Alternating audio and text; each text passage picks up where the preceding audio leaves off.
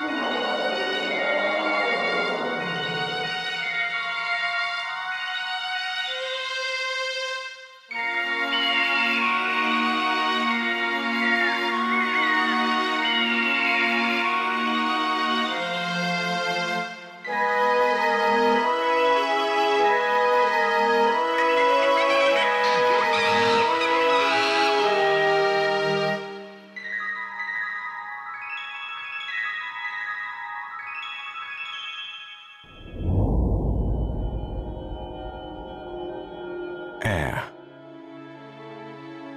Carbon.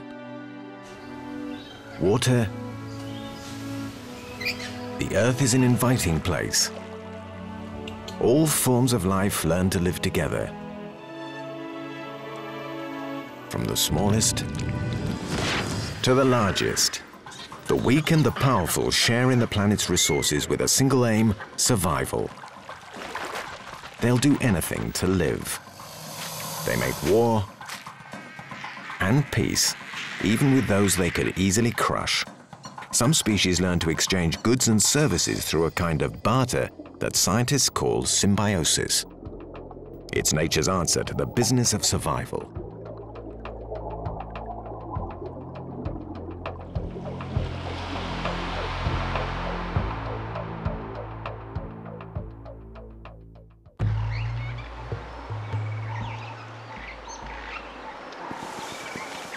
There's never a dull moment in the natural world. Animals either fight or take flight. But there's strength in numbers. Mutual aid begins by ganging up with the neighbors. It's a winning combination for all living species.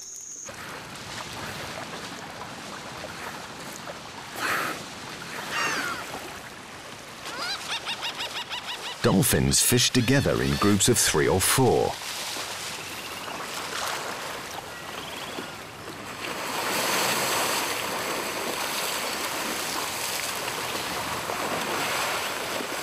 Coordinated attack is no guarantee of success, but each can count on catching something in the end as long as they stick together.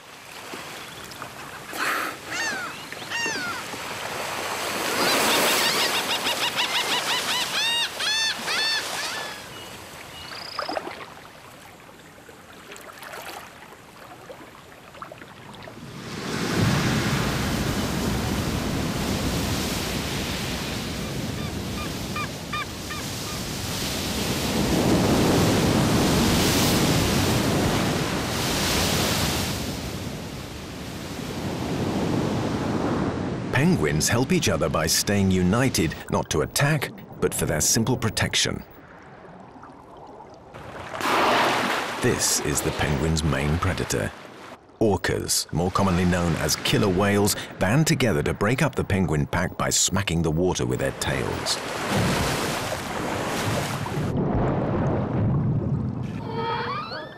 The penguins take evasive action. By staying close, then splitting up and regrouping again, the orcas don't know where to turn. The tactic minimizes the risk of capture.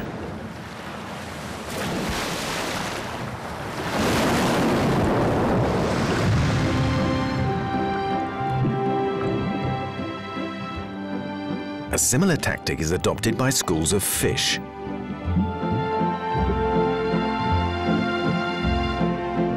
Sharks move in together, the school rallies to outwit the enemy in a deadly game of cat and mouse.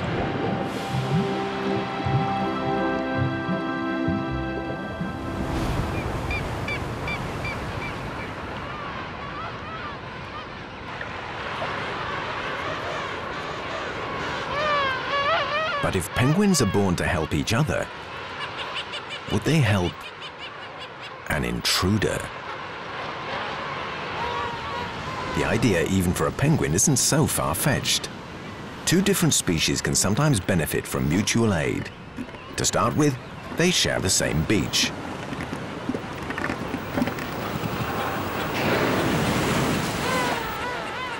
Orcas not only covet penguins, they also hunt elephant seals.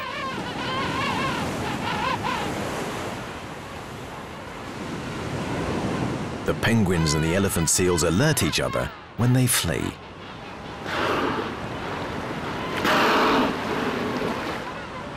This is the most basic business arrangement, involuntary but effective. All it takes is a common territory, a common enemy, and a little natural curiosity. Congratulations on a marriage of interests, for better or for worse.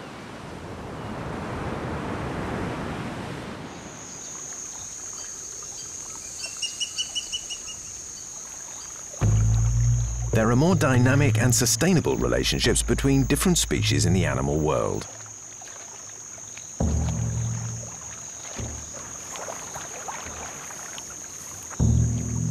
Even the imposing Nile crocodile must disguise her nest near Murchison Falls in Uganda.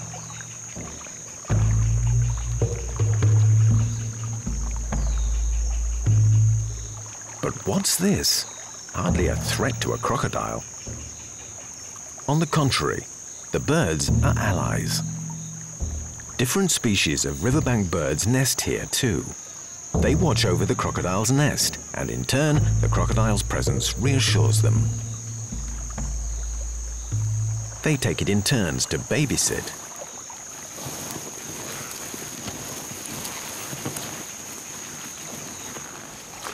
Mother croc disappears to hunt for game, leaving her eggs in the care of the birds. She's buried her eggs in the sand.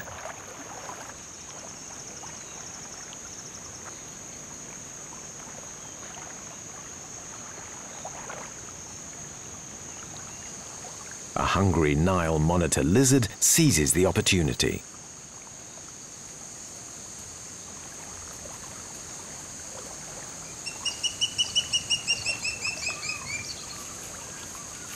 Birds trigger the alarm.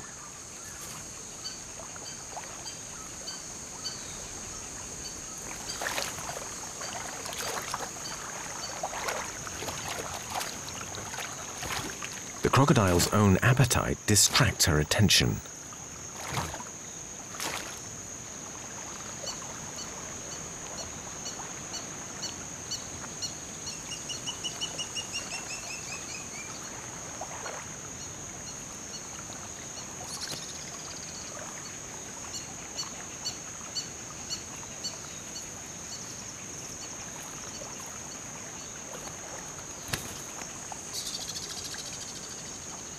A kingfisher decides that enough is enough.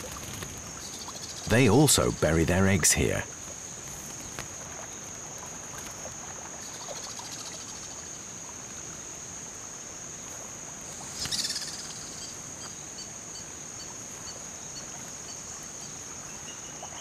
But the lizard's detective work finally pays off.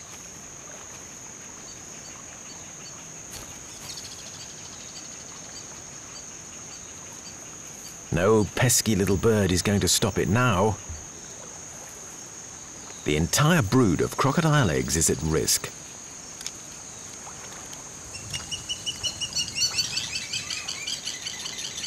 One last desperate call. This time she's got the message.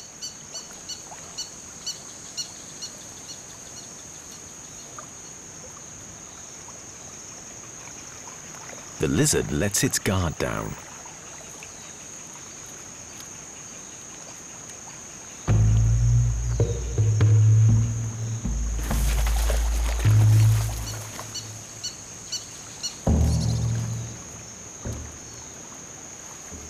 Part of the nest is saved thanks to the vigilance of the birds.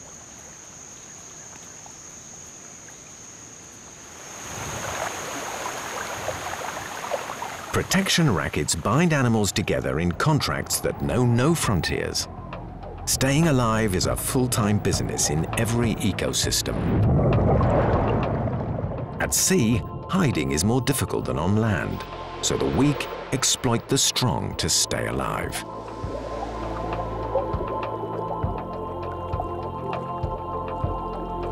The deadly tentacles of jellyfish provide an effective shield.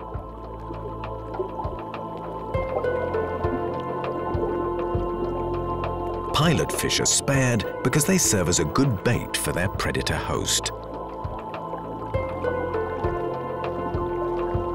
easy pickings by themselves, the fish turn their weakness into tactical advantage both for themselves and for their guardian angel.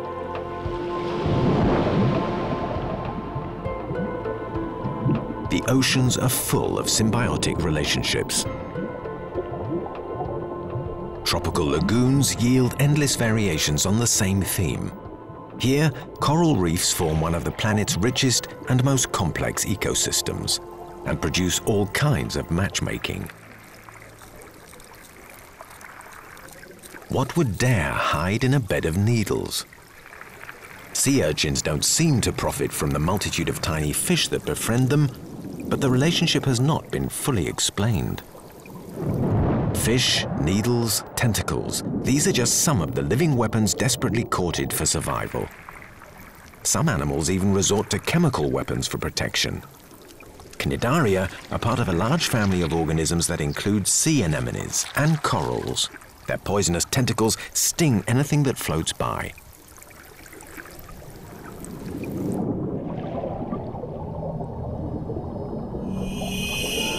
The clownfish is immune to the sea anemone and it's willing to do a deal.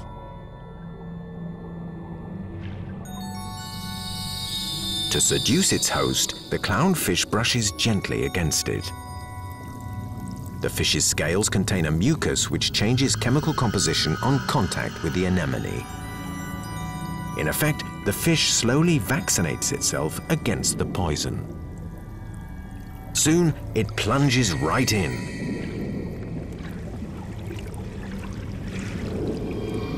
But it must keep to the deal. If it leaves for too long or chooses another host, it will lose its immunity. With a deal struck, the clownfish now serves as both bait and maid for the anemone. The fish cleans its partner's orifice, which acts as both mouth and anus.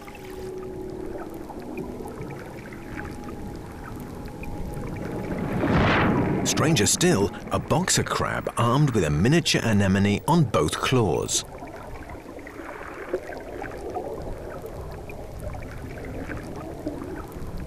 While the crab snacks, flakes of food fall to the anemones.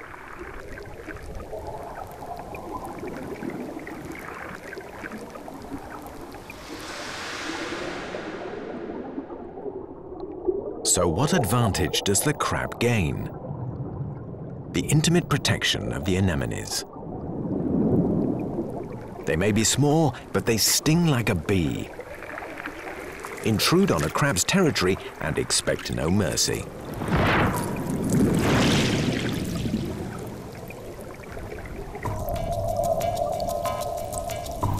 A boxer crab with a good pair of gloves can take on far bigger predators.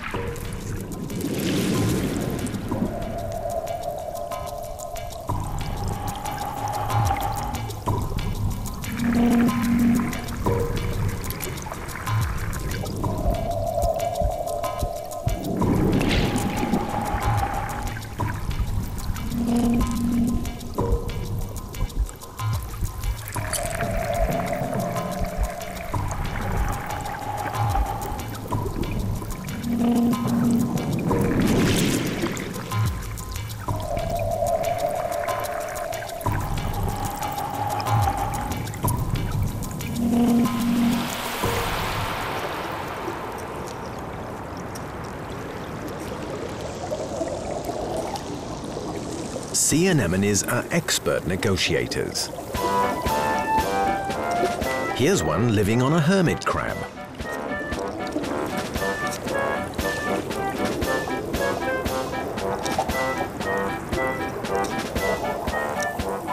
Not content with an empty shell for protection, the aggressive and territorial hermit crab seeks a live deterrent against competitors and predators.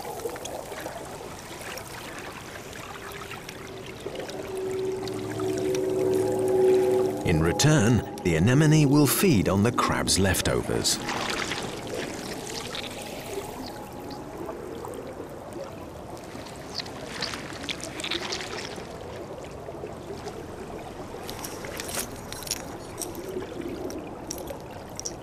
What happens when the hermit crab outgrows its shell? It must find a larger one.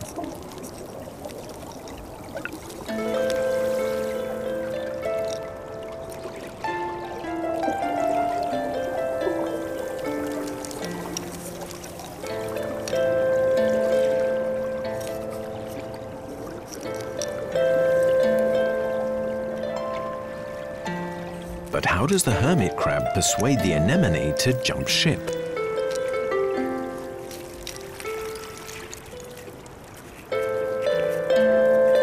It signals with a tactile code. Gentle stroking encourages the anemone to release its suckers from its pedestal.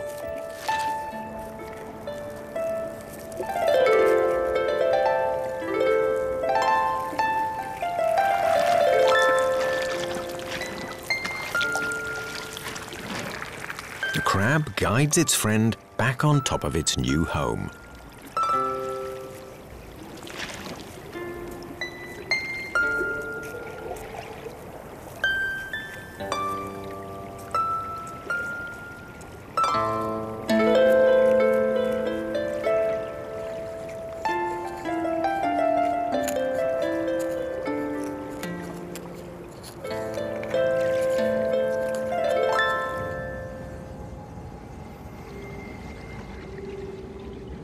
Chemical weapons are traded far and wide in the marine world.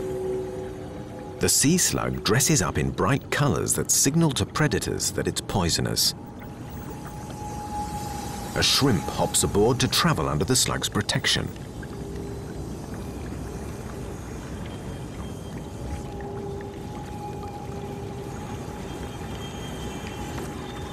The shrimp even adopts the slug's color and blends in like a chameleon. Taking full advantage of a safe ride, the shrimp feeds along the way.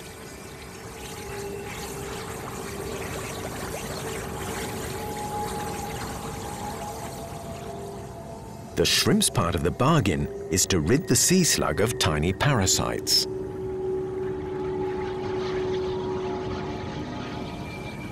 Protection in exchange for spring cleaning suits the shrimp well.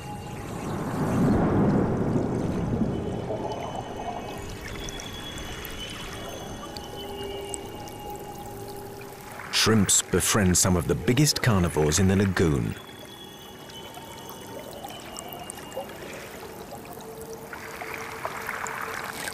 Performing oral hygiene on a moray eel beggars belief, especially if the patient is temperamental.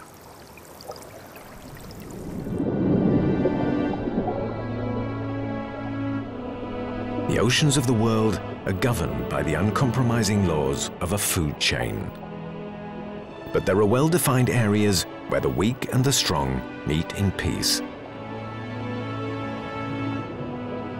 This is an unlikely paradise where hammerheads and other large predators gather simply to be cleaned by small fry like wrasses. They feed on the parasites of their seniors. Sometimes there's even a queue for the beauty parlor.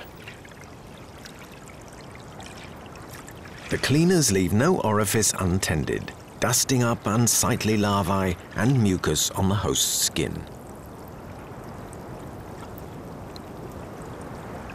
Customers invite attention by keeping their gills and mouths open.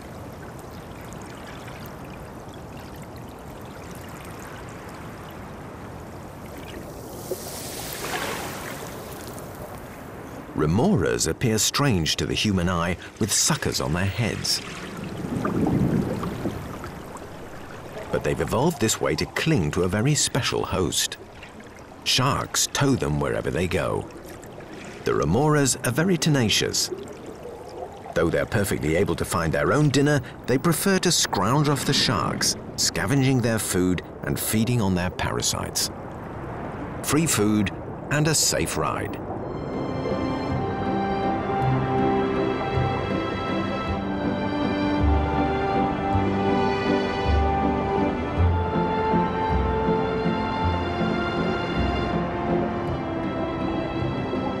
Remoras also bond with rays. They're born white to blend in with their host. Every species of remora hires its own driver.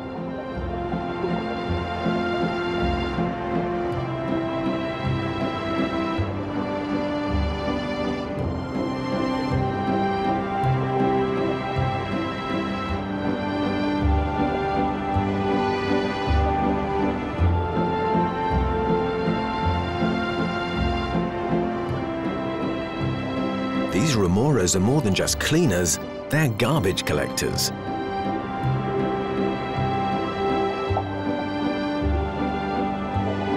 They love to rummage through the Ray's excrement for choice tidbits.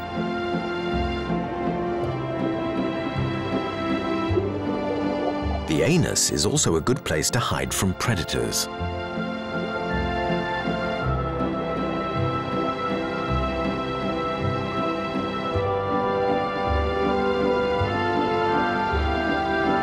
Protection, cleaning, feeding. A contract for survival in the deep.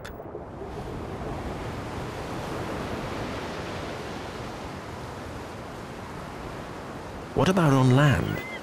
Do animals have the same needs?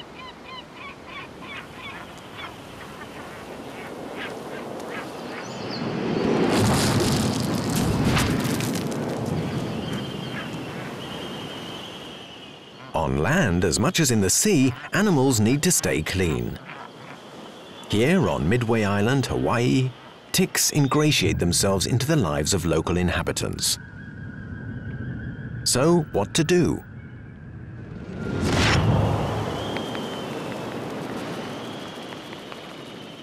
You need a partner at your beck and call. But a helping hand from one of your own species may not be the most effective solution. Parasites bury themselves in the fur and feathers of animals, and removal takes forever.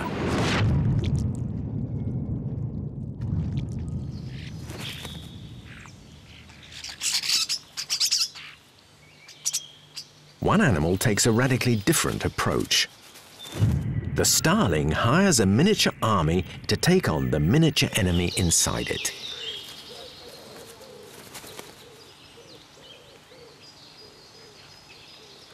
Wood ants are perfect candidates.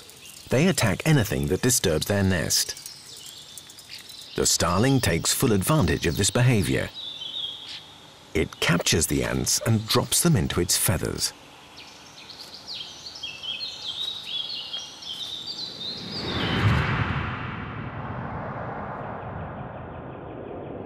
Once inside, the ants get to work.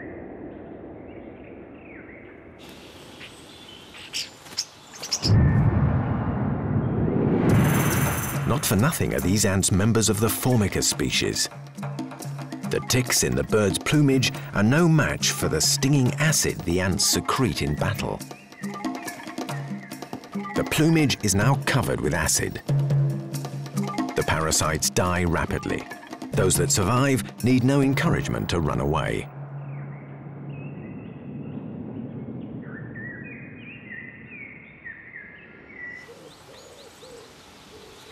The starling is as good as new. But what do the ants gain from this business agreement? It would seem nothing, as they don't prey on the ticks. So the starling is, after all, the real villain of the story. The line between fair trade and selfish exploitation is blurred. Animal business is a question of weighing up cost and benefit.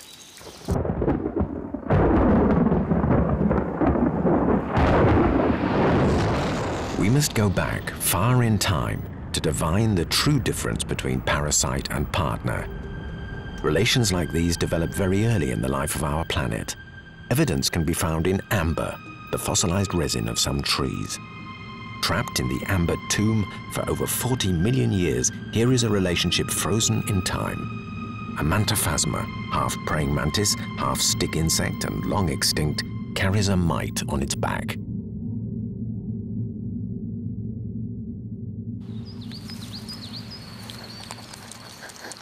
The mite could well be clearing its host of old scales.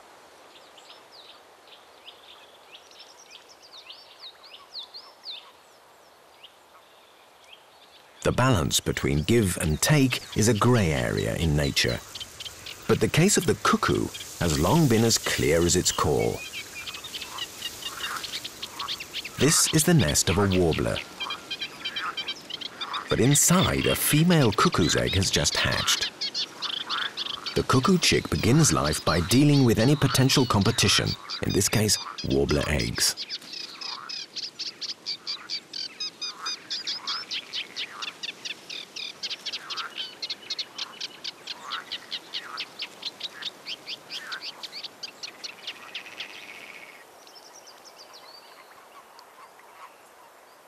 Not only has the cuckoo been incubated by a warbler, it now wants exclusive feeding rights.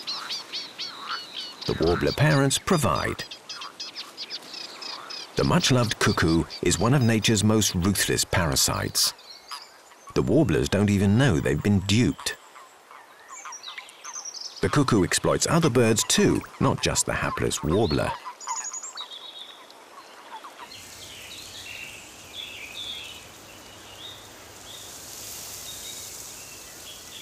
In the insect world, parasitical brood behavior borders on predation. This caterpillar would become a cabbage white butterfly, but it's about to fall for a deadly trick.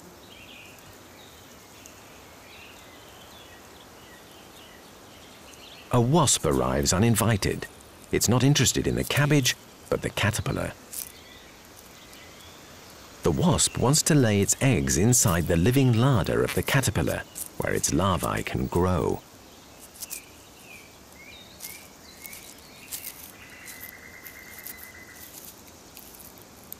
The caterpillar's only real defense is to squirt the enemy with sticky cabbage juice.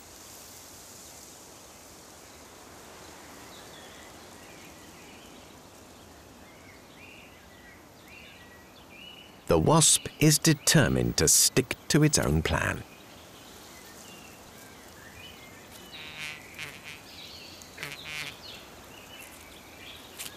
It manages to inject its eggs into the body of the caterpillar. The larvae will grow without killing their host. A week later, the larvae burrow their way out.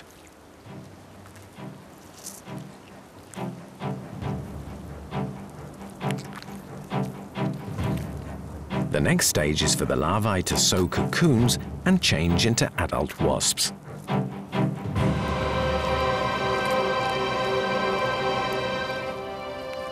So what possible advantage has the caterpillar gained? It'll die a slow death without morphing into a butterfly. The wasp is a deadly parasite, all take and no give.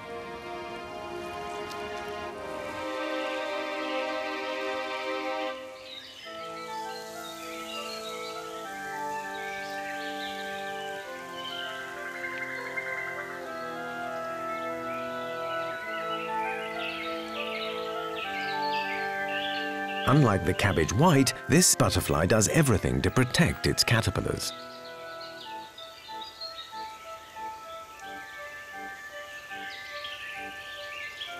Like other butterflies, it chooses plants to lay its eggs.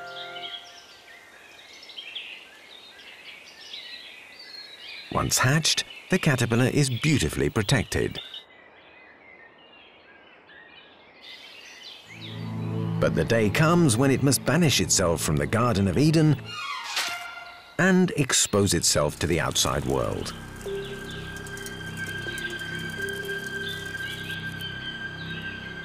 The odds don't look too good for the caterpillar, but nature is full of surprises. The caterpillar pulls off the ultimate ruse. It secretes a pheromone, a chemical substance designed to attract the same species. Only the pheromone mimics the smell of an ant larva. What a message to the ants. Take me to your nest.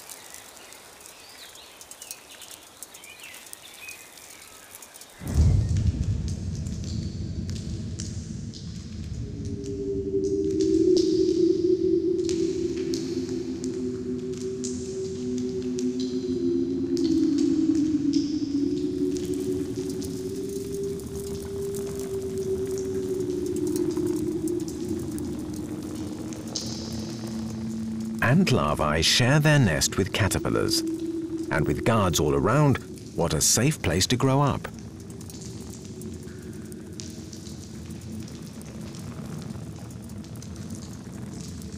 The caterpillar doesn't shy from giving out orders.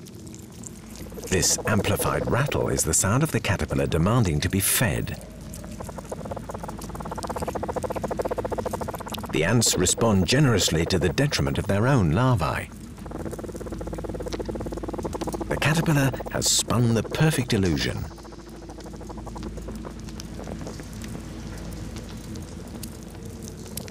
But it finally does give something back. It produces a succulent nectar on its skin to the delectation of the ants. The caterpillar redeems itself from being a mere parasite. But the process of evolution is unpredictable Relationships can end up being fair or disintegrate into pure exploitation at any time.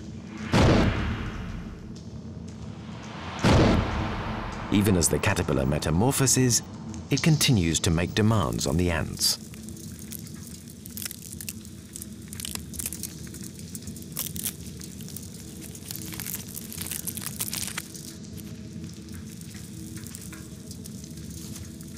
Born into an alien world, the butterfly has nothing to fear. It probably still smells of the caterpillar's pheromone.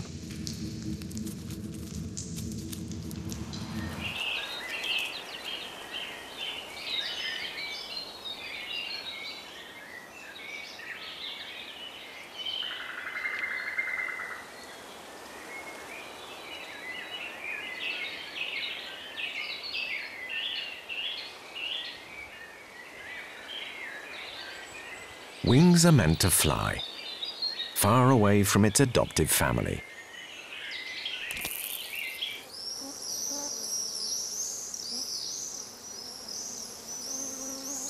Throughout evolution, some business partners depend on each other so much they become inseparable. Their relationship changes their behavior and even the way they look. Pollinating insects have made this kind of lifelong pact with flowers. They scatter the flower's pollen in return for feeding off the nectar. A flower is nothing if it can't attract insects. The more they sparkle, the more insects will explore them and coat themselves with the pollen that assures their reproduction. Some flowers even change their shape to slow down their partners so they pick up as much pollen as possible.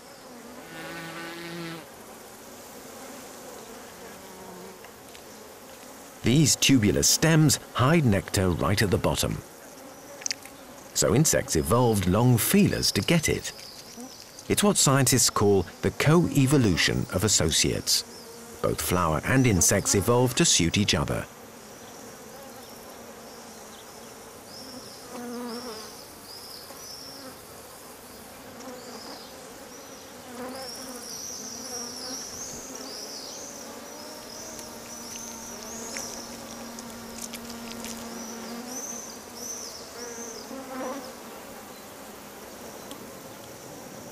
Some associations between insects and plants seem to defy the laws of nature. Specialized glands containing enzymes enable carnivorous plants to digest their prey. They take no prisoners.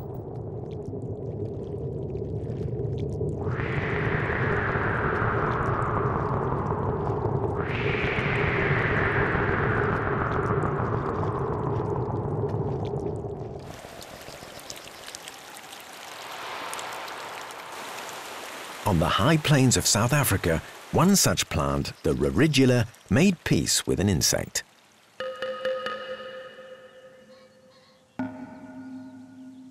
Its leaves secrete a sticky resin that glows in the sun.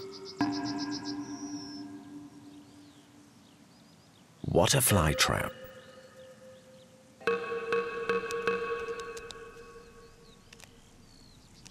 Here's a bug seemingly destined for an early grave.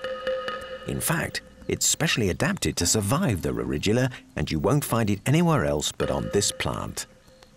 So what's the secret? Long legs act as stilts and help it to get over the sticking points.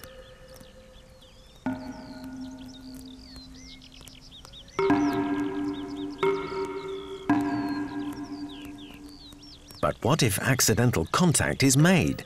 Well, the glue is simply not strong enough to stick. What a blessing for the plant to find a partner that can survive and ensure its reproduction.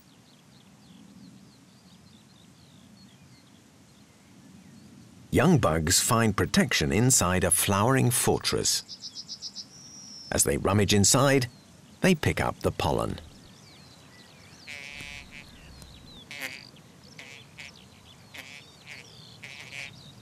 But this is not the end of the story. The Rigula is different from other carnivorous plants. It may make a good fly trap, but it doesn't have digestive enzymes to consume its victims by itself. The insect will help it out again. Most victims end up exhausting themselves in their hopeless struggle to escape. Enter the bug again at a timely moment. It surgically inserts its rostrum into the trapped insects and sweeps up what's inside. An effortless meal and completely risk-free. The bug's digestion produces excrement rich in nitrogen, which it then deposits on the flower. The plant immediately absorbs the nitrogen fertilizer as the only way it can exploit its prey.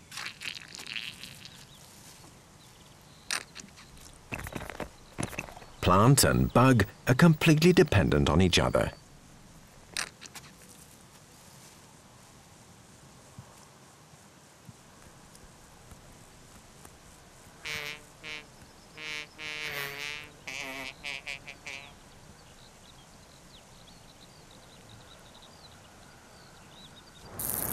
Inseparable couples are rare in nature and usually the result of a long shared history together.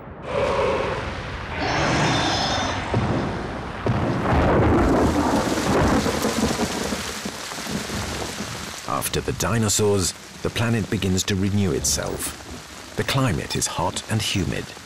It favors mushrooms and fungus. Life as far apart as plants microorganisms and insects thrive and begin to form all kinds of associations in this hothouse.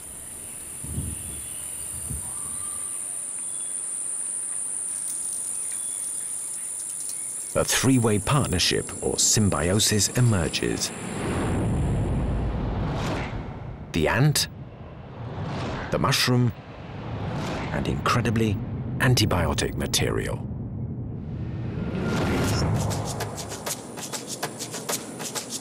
This example of interdependency survives today, unchanged for 50 million years.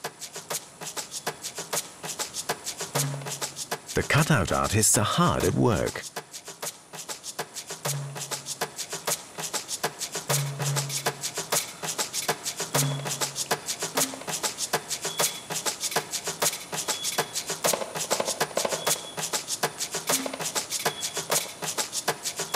They feather their underground nests with the fruits of their labours. Caves are vast mushroom beds of constant temperature and humidity. The ants dissect and mash the leaves into a compost. Mushrooms as fine as an angel's hair grow in abundance.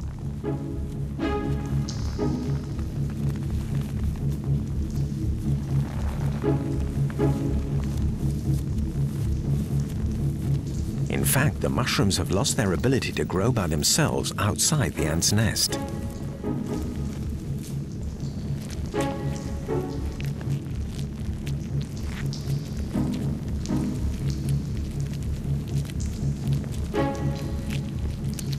Workers pre-digest the mushrooms into tiny balls, food for the ant's larvae.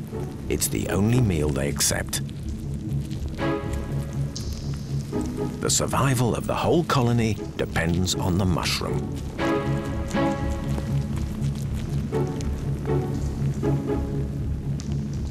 The queen forms a new colony elsewhere by bringing along a sample ball to kickstart her own culture.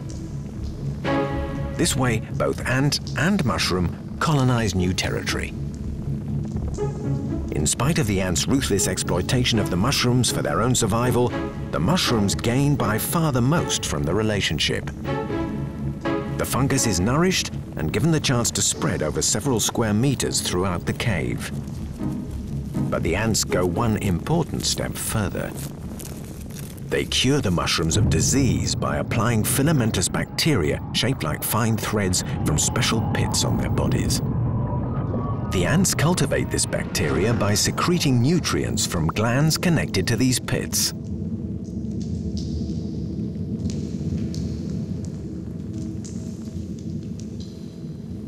From master cultivators to nurses fighting disease, the ants will do all they can to preserve their mushrooms.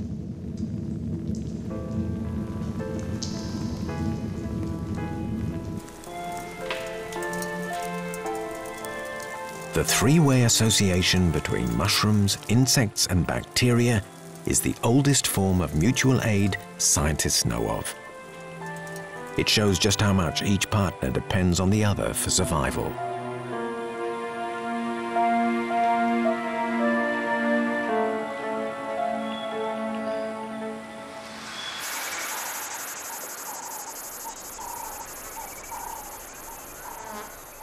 Symbiosis becomes indispensable for survival for another species, termites. Like the ants and their mushrooms, termites depend on a tripartite alliance based on food. But in their case, the allies live in the termites' own stomachs.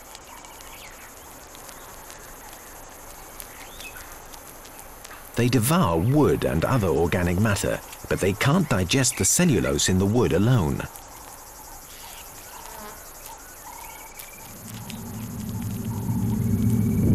The termites depend on much smaller organisms to do the work for them. This is the termite's stomach. Their digestive tube contains a special fermentation pocket. It's an excellent place for microscopic single-celled animals called protozoa, they not only digest the cellulose, but feed off it too.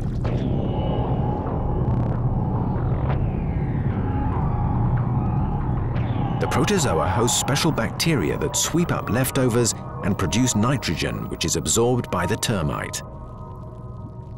Termites pick up protozoa and bacteria by eating the molting material and excrement of other termites.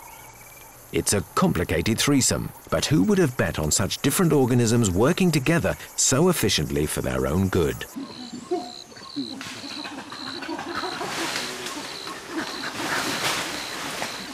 Our partners in nature are sometimes so small you have to scratch the surface to find them.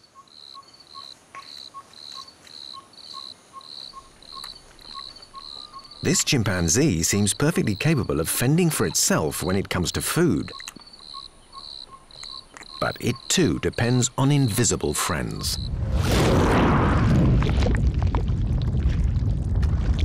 Its intestines are full of bacteria that help it digest. Good bacteria devour bad. More than 400 kinds of good bacteria inhabit the large intestine.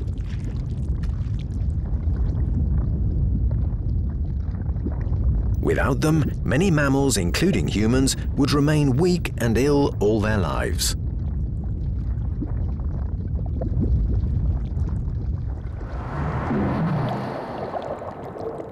Bacteria live freely, but they like to associate with more evolved organisms to find a home in them and a meal. They're everywhere, even at the bottom of the ocean, where they do a power of good.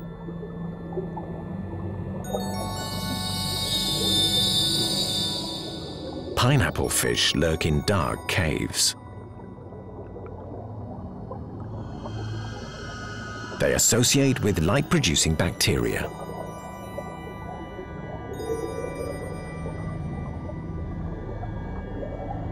This is one of them. For the moment, it isn't giving off any light. Bacteria infiltrate the gills of the pineapple fish and enter bioluminescent glands called photophores. There they thrive in a culture full of oxygen. The bacteria multiply and thanks to a special enzyme produce light in the photophores of the pineapple fish. The fish use the light to attract prey and also to communicate with each other during their reproductive cycle.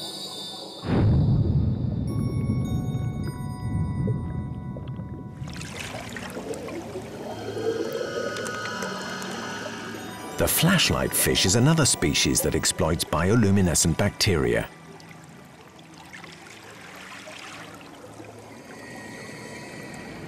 It adapted to take full advantage of the bacteria by developing an organ and valve that turn on and off like the indicator of a car. So the flashlight communicates with its own species in Morse code. It also attracts prey and scares off predators.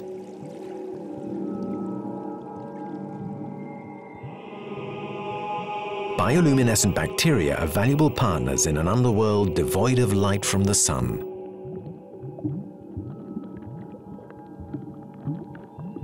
Comb jellyfish adapted too. In the darkest abyss, they are able to reflect light from bioluminescent bacteria in order to lure and catch their prey.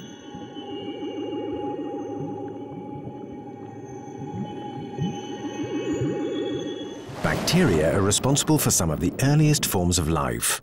In primitive oceans, two different kinds associated to create living organs.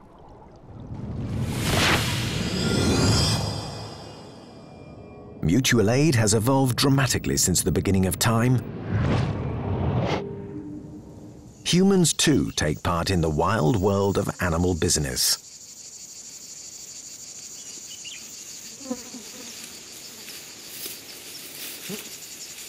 In northern Kenya, the Boran tribe shares hunting grounds with the honeyguide bird.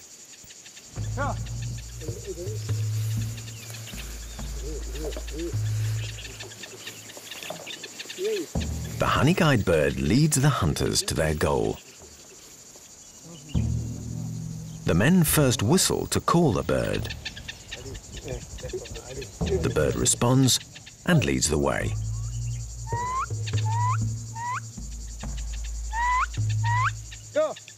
Gradually, the bird perches closer and closer to the ground, a sign that the hunters are warm.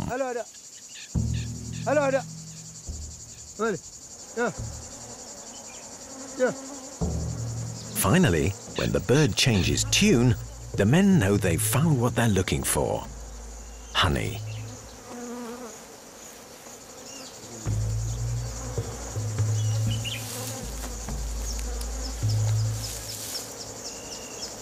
The bird can't get to the hive for bees, and the men need the bird to locate the honey. It waits patiently for its share of the bargain. Plump larvae.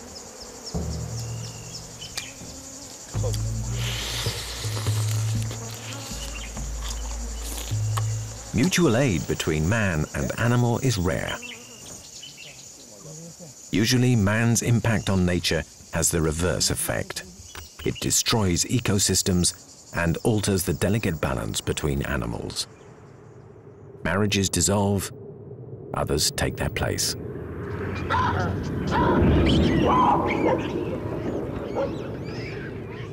In Saudi Arabia, a rubbish dump inspires two quite different animals to band together. They wouldn't do so without the presence of man. The dump is a magnet for stray dogs and a colony of baboons which have conveniently chosen to live by this easy source of food.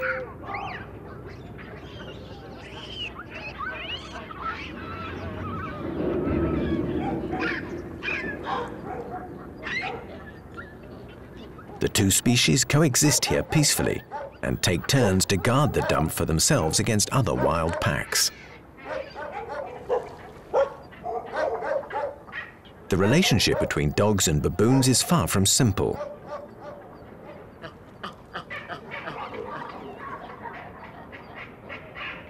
Baboons live in an orderly, hierarchical society split into different family groups. Delousing takes place within a family unit, a sign of submission and belonging. Baboons delouse the dogs too. So could a domestic animal like a dog be adopted by a baboon? Life on the wrong side of the tracks encourages some unusual behavior. In each group, a single male baboon dominates a harem and jealously guards his females from other prying males. The dominant male punishes interlopers.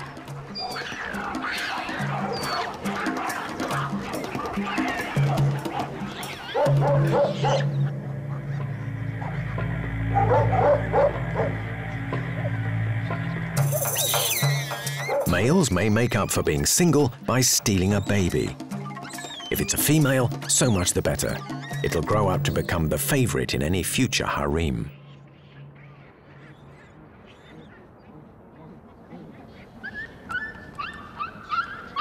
Incredibly, that goes for puppy dogs too. A male baboon forcibly adopts a puppy.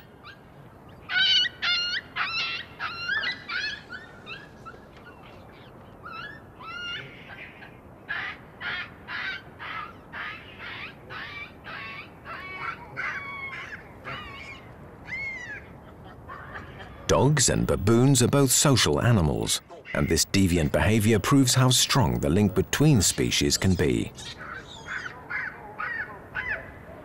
The growing intimacy between wild and domestic species will change the way animals behave in the future and even create new kinds of associations. The variety of partnerships in nature shows how adaptable the species are, forever negotiating their way to a safer and richer life. From blissful coexistence and mutual profit to cruel exploitation, all forms of interaction play a part in the business of survival.